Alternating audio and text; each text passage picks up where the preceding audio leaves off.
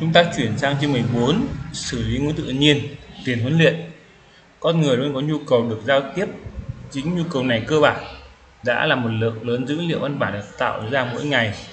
Với lượng dữ liệu văn bản đa dạng từ mạng xã hội, ứng dụng, trò chuyện, email, đánh giá sản phẩm, tài liệu, nghiên cứu, sách báo, việc giúp máy tính hiểu được những dữ liệu này trở nên quan trọng nhằm đưa ra cách hỗ trợ hoặc quyết định dựa trên ngôn ngữ của con người xử lý ngôn ngữ tự nhiên, nghiên cứu sự tương tác bằng ngôn ngữ tự nhiên giữa máy tính và con người.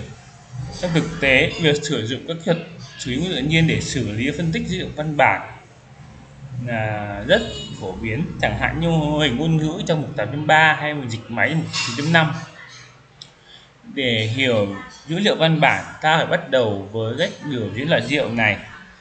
Chẳng hạn, xem mỗi từ hay một từ con như một token riêng lẻ trong chương này, biểu diễn của mỗi token đều có thể biểu hiện huấn luyện trên một kho nguyên lớn sử dụng các mô hình word to vec hay là grow vest hay embedding ở từ con.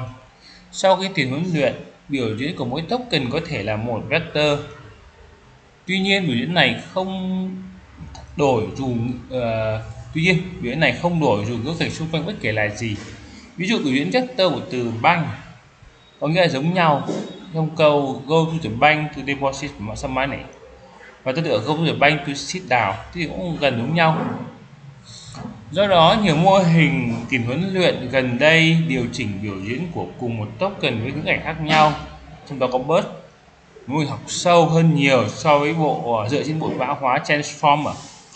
Trong chương này, chúng tập trung các tìm huấn luyện các biểu diễn như vậy cho văn bản được mô tả trong hình này chúng ta có là tiến là word to best globe encoding bus sau đó để sang là kiến trúc xử lý là đa perception hay là CNN hay RNN hay tập trung. Nó cùng ra chuyển sang cùng là các văn bản chuyện không cao và ý như vậy à, nội dung trong phần này có một sau một là embedding này sau đó là huấn luyện gần đúng này tập dữ liệu embedding từ này sau đó thì huấn luyện tập WordPress này rồi là embedding với uh, globe đó rồi cục hoặc em từ con tìm cái đồng nghĩa loại suy, biểu diễn là mã hóa lai hai chiều từ transformer dùng bớt.